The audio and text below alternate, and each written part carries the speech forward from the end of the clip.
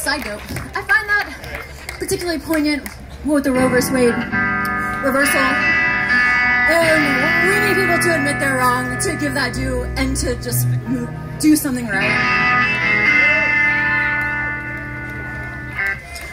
Since I'm on my soapbox,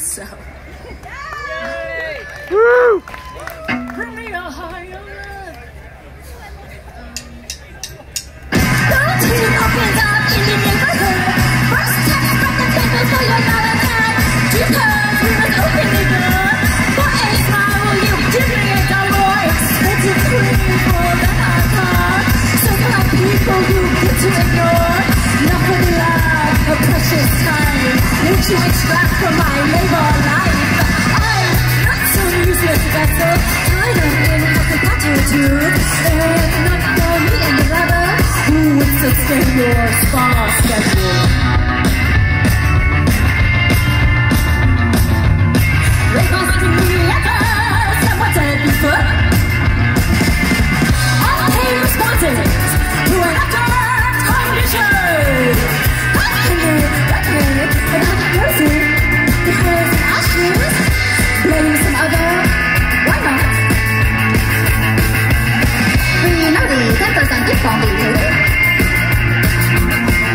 那